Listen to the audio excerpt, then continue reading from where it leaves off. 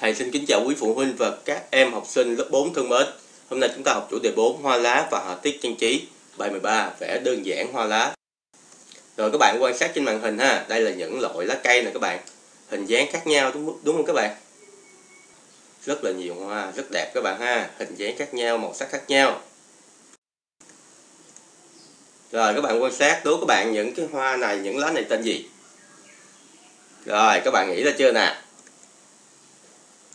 Hoa ly nè, hoa lan nè, hoa đồng tiền nè, lá cây khoai mì nè, lá phong nè, lá chíp cá nè, ha, hình dáng và màu sắc của hoa khác nhau. Và hình dáng của lá cũng khác nhau luôn. Đó, hai bông hoa này khác nhau, thấy rõ luôn, đúng không các bạn? Hình dáng và màu sắc khác nhau luôn. Rồi, các bạn thấy lá khác nhau hay giống nhau nè. Tất nhiên là khác nhau rồi, đúng không? Hình dáng khác nhau hết lá cây phong, lá cây dừa và lá cây khoai mì, hình dáng khác nhau hết. Màu sắc cũng khác nhau nữa. Giống nhau á, mỗi loại lá đều giống nhau là có cuốn lá nè, phiến lá và gân lá, ha.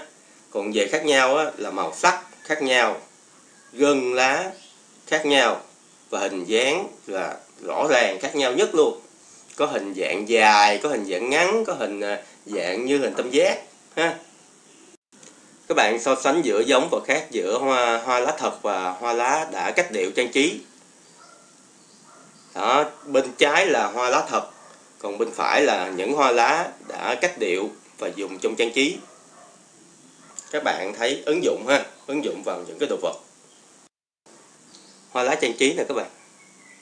Đó, dựa vào cái hoa thật mà người ta cách điệu ra, người ta vẽ ra những cái hoa trang trí.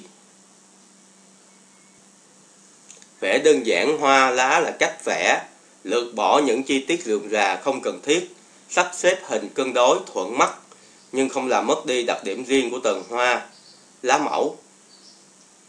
Có nghĩa là các bạn vẽ hoa hồng, hoa hồng các bạn cách điệu ra, thì các bạn phải cố gắng làm sao vẫn giữ được đặc điểm.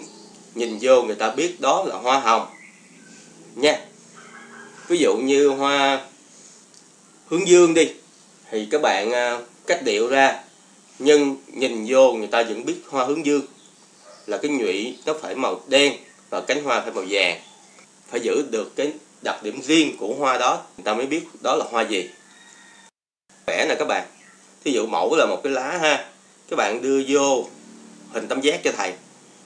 Và bắt đầu các bạn vẽ đơn giản. Đó những cái lá đa phần là hình tam giác còn những cái lá dừa hay lá cây uh, khoai mì á hình dáng khác nhau. Về hoa đó thì các bạn cũng đưa vô hình dáng chung luôn. Đó như hoa này nè. Đó các bạn đưa vô hình tròn ha. Xong rồi các bạn chia ra những cái trục dọc và trục ngang để các bạn à, vẽ cho nó cân đối nó đối xứng ha. Họa tiết dùng để trang trí nè. Vô à, đường diêm nè vô hình à, trang trí hình vuông, trang trí hình tròn. Trang trí ứng dụng nè, các bạn thấy lọ hoa rất là đẹp không? Đó, vẽ vô, nhìn tuyệt vời. Đó, rồi làm cái tấm trắng cửa nữa ha. Rồi, nhiệm vụ chính của chúng ta hôm nay là chúng ta thực hành vẽ vào tờ giấy trắng nha các bạn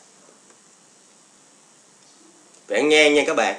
Rồi các bạn à, chọn một cái hoa, chọn một cái lá mà mình à, thích, rồi à, vẽ vào, ha. Hoặc là các bạn nhà có sẵn hoa, nhà có sẵn cây, thì các bạn cứ nhìn vào hoa và cây đó mà các bạn vẽ vào bài của mình, ha. Rồi các bạn có thể trang trí thêm vô. Trang trí như thế nào thì các bạn xem lại những cái bước hướng dẫn của thầy thì chắc chắn các bạn sẽ biết làm nha. Rồi khi mà các bạn vẽ xong rồi các bạn xem bố cục hình vẽ như thế nào. Hoa lá so với mẫu đã giống chưa và đã các bạn đã đơn giản hoa lá đó lại chưa? Rồi màu sắc bài vẽ có đẹp chưa? Dùng những các bạn trang trí à, các bạn cách điệu các bạn vẽ màu lên thì quan trọng là phải giữ cái màu của hoa đó nha các bạn. Hoa hồng là phải màu đỏ hoa hướng dương thì phải màu vàng. Ví dụ vậy. Tác dụng của hoa lá trong cuộc sống là tạo không khí oxy cho nhà của chúng ta, đúng không các bạn? Rồi, các bạn làm bài này ha. Xong rồi à, chụp hình gửi qua zalo cho thầy. Thầy cảm ơn quý phụ huynh đã theo dõi. Chúc một ngày nhiều niềm vui.